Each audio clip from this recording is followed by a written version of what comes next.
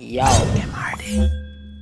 Welcome to another Synfig tutorial. So today I'm going to show you how you can go about changing scenes for your animation. So, you know, like scene one, scene two, scene three. And um, there are several ways that you can do this. For one, um, you could save out each of your scenes individually and then import them into a video editing program and then, you know, cut them together but you can also do that in Synfig, right? So today I'm going to show you how, well, one way that you can do that in Synfig. Um, so here I have two different scenes that I've labeled scene one and scene two. And please note that, you know, you can call your scenes whatever you want. So I, I just labeled these scene one and scene two so we can differentiate them easily. So let's go ahead and look at what is on scene one. So both of them have their own animations. So this is stars moving across the screen for scene one. And for scene two, we have some circles moving down. Okay. All right. So what we need to do is make sure that these both the scenes are of the same width and the same height. Okay. And their frame rate is the same. So both of these scenes are 1920 by 1080 and they're all playing at 24 frames per second.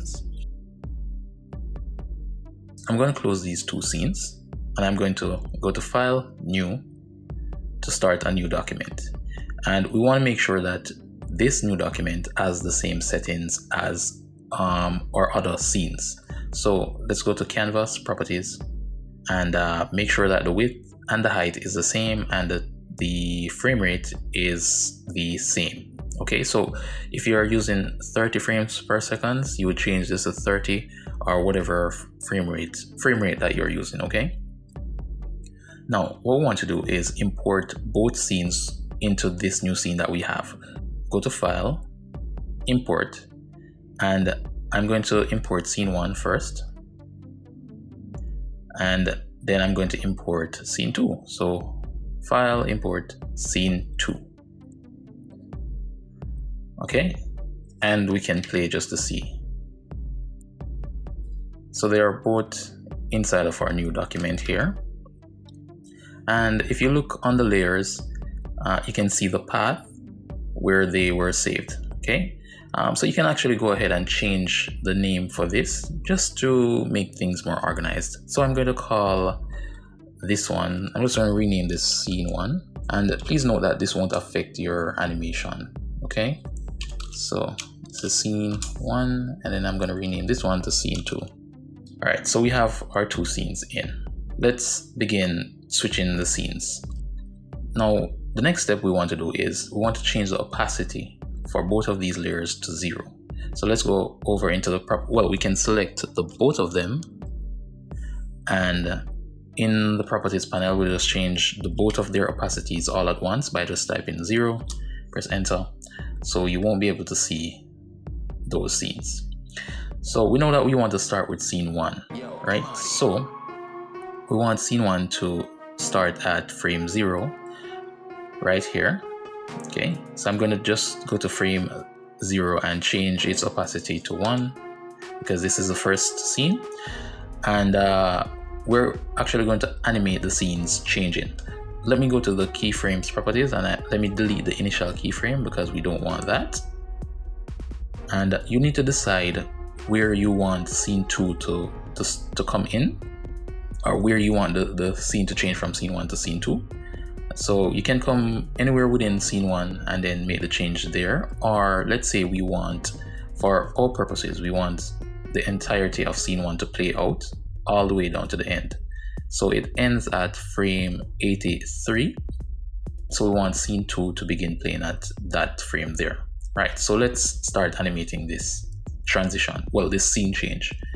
Um, what you want to do is change the free the keyframe type to constant because you don't want a gradual uh, switch from one scene to the next. You just want it to be like a cut from one scene to the second scene. So that's why we're, we're using the constant keyframe.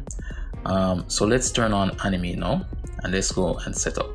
So at frame zero, it's at the opacity is one and at the end we want to change that to zero so let me type zero and uh, let me go back here and change this back to one so it changes from one to zero so we won't see it when it ends right so let's go to scene two and on scene two we want the scene two to show up at the end of um, scene one, which is frame 83. So let's, we can actually go here and just type 83. So here, um, so we want the opacity here to be one. And of course, we don't want it to be seen um, down here. So let's change this to zero. Okay, so zero, one. So it comes on at frame uh, 83. So if we should play, we see scene 1 and then we see scene 2. But notice that on scene 2, the animation that is on scene 2 has already ended.